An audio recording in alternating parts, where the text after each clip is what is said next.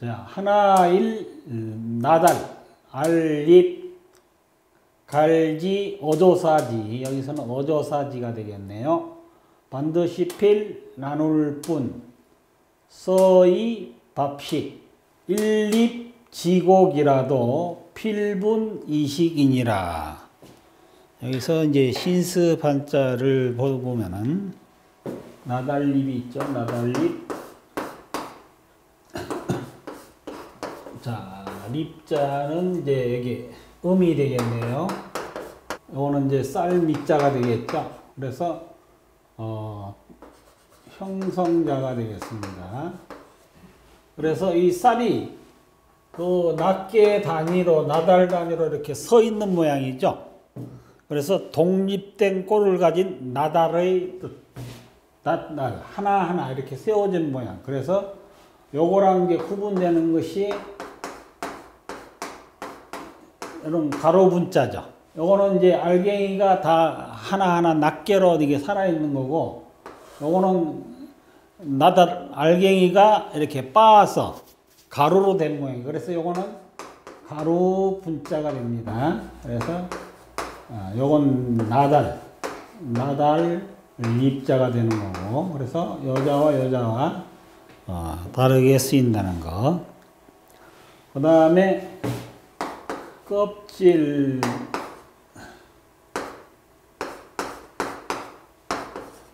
음, 곡식곡은 요 벼화에다가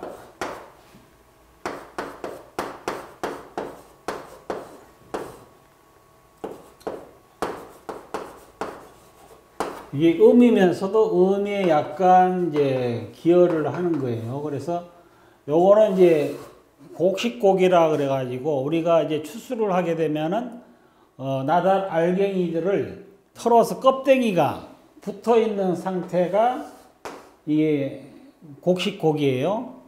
그래서 이 곡식을 이제 털어서 이렇게 하면은 어, 여기 벼가 있고 벼 화자죠. 요거는 벼의 껍질. 그래서 껍질 각자예요.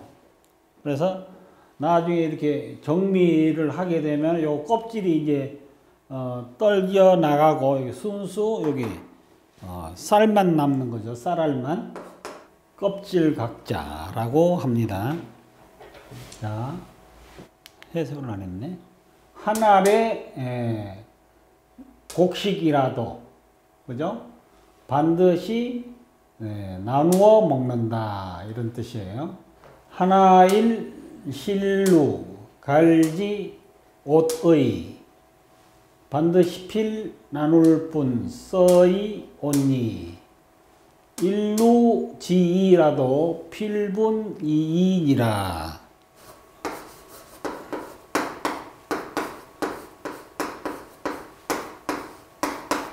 이것도 형성자가 되겠습니다. 그래서 실사에다가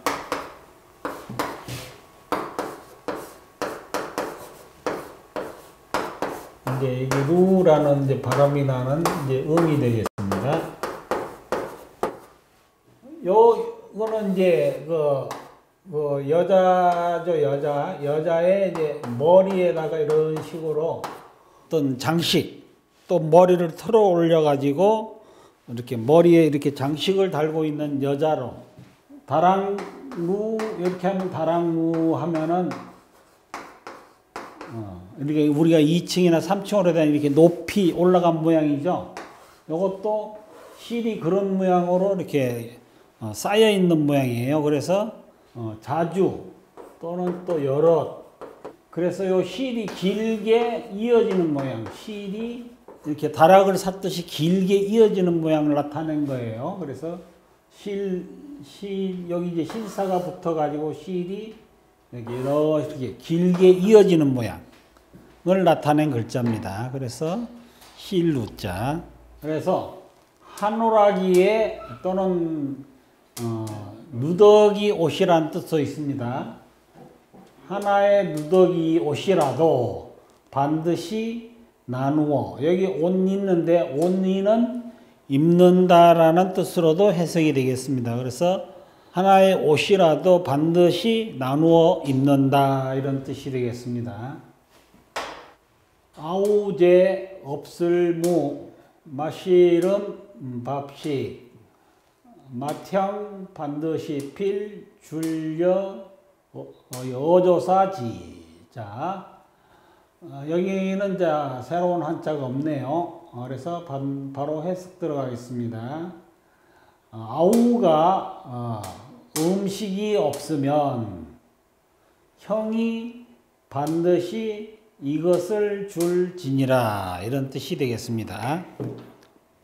어, 맛형 없을무 오의 옵복 아우제 반드시 필 드릴헌 오조사지. 그래서 형무 의복이면 제필 헌지인이라 그래서 형에게 의복이 없으면 아우가 반드시 이것을 드릴지니라 이런 뜻이 되겠습니다. 자 여기 헌자를 다시 한번 풀이해 보도록 하죠.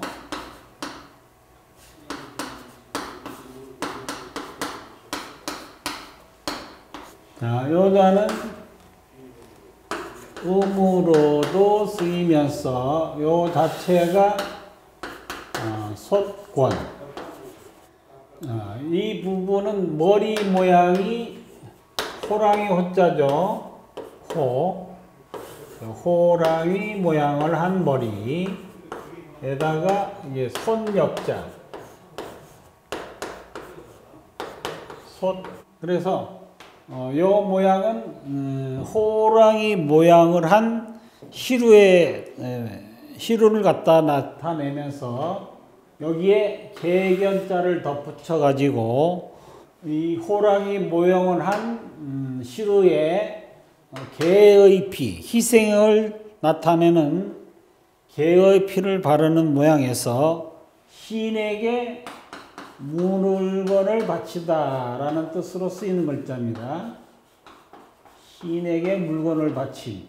그래서 신에게 물건을 드릴 때 마음은 경건하고 정성스러워야 되겠죠. 자, 이상으로서 어, 제4장 형제의 에, 형제장을 마치도록 하겠습니다.